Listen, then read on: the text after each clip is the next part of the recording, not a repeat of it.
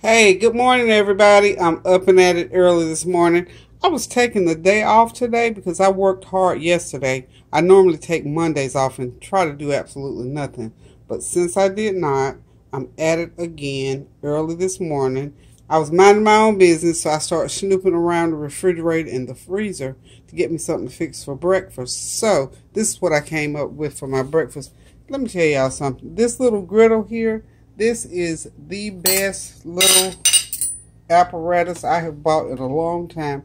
It is a Sunbeam countertop griddle. It cooks everything from sausage, eggs, and bacon to toast. This is some stuff that I, I found this little gem right here.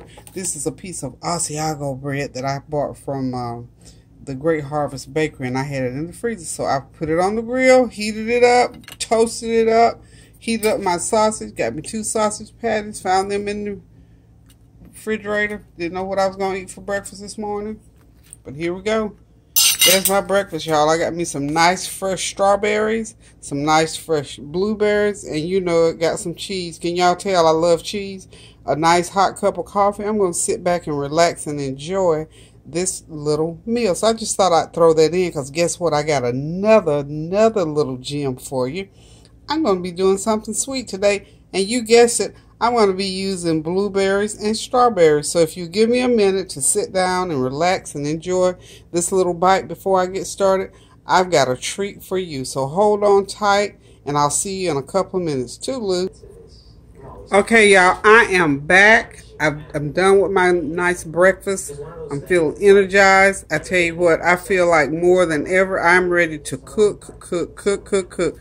Now, this is an unscheduled meal here today. So, uh, well, not really a meal. It's going to be some good old-fashioned bread pudding. Now, I could call it dump pudding because what I did when I went into my refrigerator and went into my freezer and I was just looking, I thought I got blueberries, strawberries. I got all this leftover good old bread. I got some raisin bread in there and some Hawaiian rolls in there. So I don't want to throw that bread out. And I don't know if the birds like raisin bread or not. So I decided I'm going to make some good old fashioned,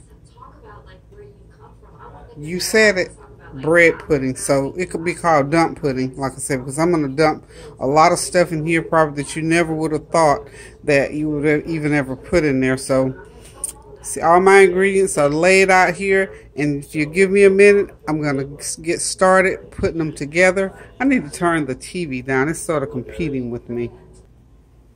Okay, I got it turned down. I put it on quiet. I like watching The Bachelorette. And when I'm home during the day, sometimes I'll go ahead and turn that on because usually at night if I try to watch it I'll get sleepy and nod on it and I won't quite get it watched. So here's what we got for this bread pudding. I've got some fresh blueberries, some fresh strawberries. I've got some uh, leftover Hawaiian rolls, uh, some leftover cinnamon bread. I've got some eggs, rather just one egg and a couple of uh, evaporated milk I've got in there. So I'm going to put some melted butter, and guess what this is, y'all? Y'all know what it is. This is the bottom of a bottle of my peach wine. So, you know what it's going to be like when I get this all cooked up. Of course, I got my trusted old brown sugar. So what I'm going to do is I'm going to start putting this together. And as I go along, I'll tell you what I'm doing. So let's recap the ingredients. I'm going to use uh, three-fourths of a cup of blueberries, a cup of sliced strawberries, on which I put um, some stevia because those strawberries were kind of tart, so they were a little bit too tart. So I put a packet of stevia on it to kind of sweeten them up a little bit. But if your strawberries are sweet, don't bother about it. Then I'm going to be using nine Hawaiian rolls and four slices of raisin bread. And what I've done with the raisin bread is just broke it up into pieces. Then I've whipped up one egg, one cup of milk, and to that I added one eighth of a teaspoon of nutmeg. Remember I told you with those candy yams, please be careful with the nutmeg because it's very strong. If you put too much, uh, you're going to be biting off more than you want to chew. So an eighth of a teaspoon of nutmeg, okay? Then I'm going to put one stick of melted butter in it. And this is uh, probably a little over a fourth of a cup of peach homemade my homemade kicking peach wine. I'm going to pour that in there for flavor. And of course, I'm going to put one cup of brown packed. And remember, when using brown sugar too, I don't know if I mentioned it before. Make sure that you pack that brown sugar so you get the um, the result of a full half cup of or a full cup of whatever you're trying to do. Pack that brown sugar down so you can make sure you have enough sugar going on in it. So what I'm going to do first, I'm going to pour my liquids over my dry uh, ingredients, which is I'm going to go ahead and start with my peach. I'm going to swizz it around a little bit. And I'm just going to pour it over there. Pour, pour, pour. Pour, pour, pour. And I'm going to leave just a little bit of it. Because, you know, when you get this uh, bread pudding or dump pudding mixed up, you got to have a little glaze to go with it. And I want a little bit of that schnapps. Or rather, I'm calling it peach schnapps. A little bit of that peach wine to put into some uh, confectioner sugar so we can make something to drizzle over. We'll talk about that when we get to that point. Next, I'm going to pour my egg and milk mixture over it because what you want to do, you want all this to soak in to the bread. It's going to have to sit a little bit and you're going to have to mash it up with a spoon and and if it because bread, you know, sometimes when you wet it, it sort of gets, uh, I guess, sort of pulley, and I think that's because of the yeast. So if it gets pulley on me, what I'll do is I'll put on a glove, and I'll glove, and I'll just um, continue to squeeze it through, and you know, sort of mash it together. So what I'm going to do here is I'm going to uh, let that milk, egg. I got one cup of milk, one egg, one tablespoon of vanilla flavor and one eighth a teaspoon of um, the nutmeg in that mixture. So, and the reason I do that is so that those flavors will evenly distribute throughout the bread so you won't have more on one side than the other. So remember, you're going to mix your milk, egg, nutmeg, and flavor together in a bowl, okay? Then, when you get that all done, you're going to have to continue mixing it until you get it all mixed up together. So what I'm going to do, I'm going to go away for a little bit and I'm, I'm going to continue to mix that dry mixture with that egg mixture until I get it to the consistency that I want it. Then I'm going to add my one cup of strawberries and three-fourths a cup of blueberries in it. And then I'll just pour my but my melted butter over into it and then I'll add my one cup of brown sugar and we'll mix it real good. And I've greased already, I've greased a baking dish here, my nice little red baking dish. I got it all nice and greased up. Got my oven set at 350 degrees and I'm going to pop it in the oven for a good hour. And then when it comes out, I'm going to show y'all what it looks like with a nice little glaze go that goes over. So for right now, I'm going to sign off for a couple of minutes and then I'm going to be back and let you see what it looks like right before it goes into the oven. So toodaloo for a minute or two. Okay, y'all, I'm back. I've got it all stirred, mixed, and in the pan. It's ready to go into a 350 degree oven for about an hour and 15, 20 minutes. And we're going to bring it out and we're going to cool it off. And I'm going to make a glaze to go over it. And I'll show, the, show you what it looks like when I get it all done.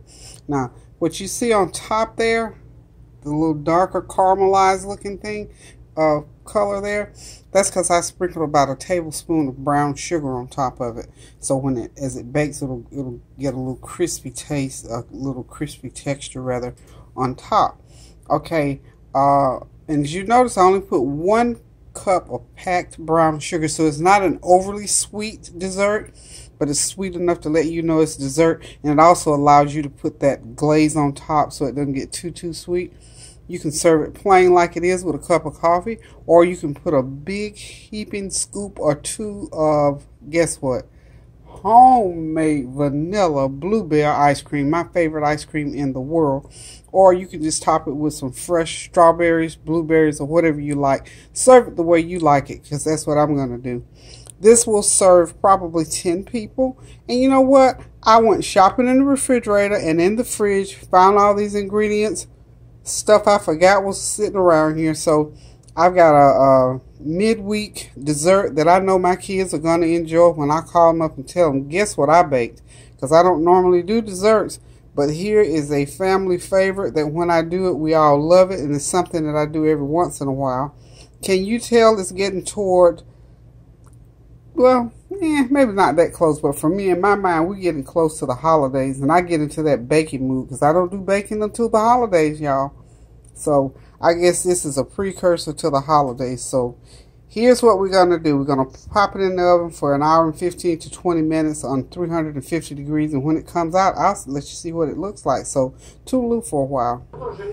Okay, as you can see, it's out of the oven.